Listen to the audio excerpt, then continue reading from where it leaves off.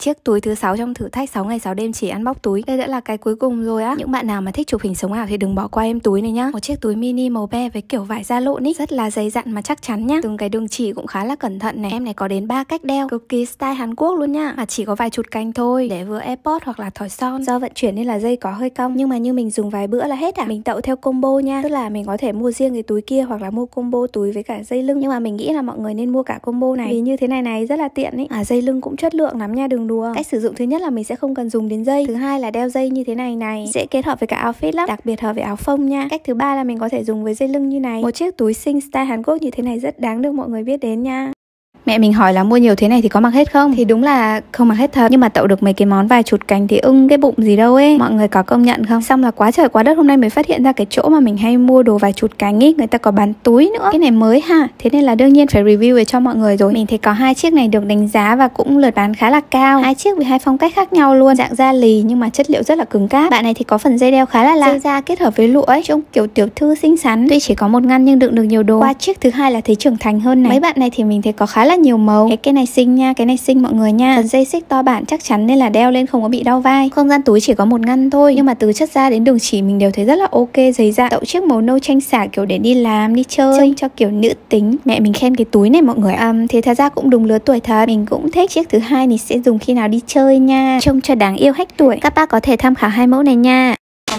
Bóc đồ mới Hôm nay mặc một chiếc áo xanh để ăn bóc một chiếc túi màu xanh. Chiếc này mình thấy có tới 4 màu và màu nào cũng xinh hết á Cái này rẻ lắm luôn ấy. Thật sự.